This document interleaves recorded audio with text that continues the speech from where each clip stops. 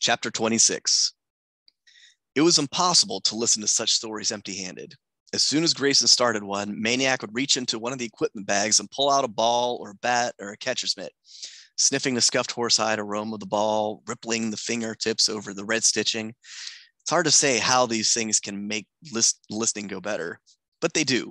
And for Maniac, they did. And of course, as happens with baseball, one thing led to another, and pretty soon the two of them were tossing a ball back and forth. And then they were outside where the throws could be longer, where you could play pepper on the outfield grass of the Legion field. The old man pitching, the kid tapping grounders, where you could shag fungos, the old man popping high flyers, the kid chasing him down. And now the stories were mixed with instruction. The grizzled, rickety coot showing the kid how to spray liners to the opposite field, how to get a jump on a long fly even before the batter hits it, how to throw the curveball, stiff, crooked fingers that grab clumsily with Krimpet wrappers curled naturally around the shape of a baseball. With a ball in his hand, the park handyman became a professor. As to the art of pitching, of course, the old man could show and tell, but he could no longer do, except for one pitch, the only one left in his repertoire from the old days. He called it the stop ball, and it nearly drove Maniac goofy. The old man claimed he discovered the stop ball one day down in the Texas League and that he was long gone from baseball when he perfected it. Unlike most pitches, the stop ball involved no element of surprise. On the contrary, the man would always announce it. Okay, he'd call from the mound, here she comes. Now keep an eye on her because she's going to float on up there. And just about the time she's over the plate, she's going to stop. Now, no one else ever hit it. So don't you go getting upset if you don't neither. It's no shame to whiff on the stop ball. And then he'd throw it. Well, of course, Maniac knew that most, if not all of that was Blarney, and that just to make sure he watched the ball extra carefully. There sure didn't seem to be anything unusual about it. Not at first, anyway, but as the ball came closer, it did somehow seem to get more and more peculiar. By the time it reached the plate, it might just as well have stopped because Maniac never knew if he was swinging at the old man's pitch or at a speech. Whatever, in weeks of trying, he never hit one out of the infield.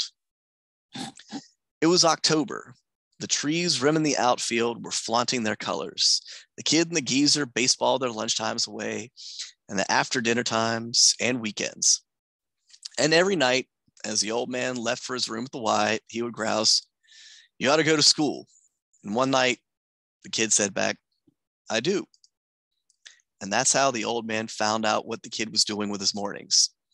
He had noticed the books before, rows and piles of them that kept growing, but there being books, he didn't think much of it. Now, the kid tells him, You know the money you gave you give me?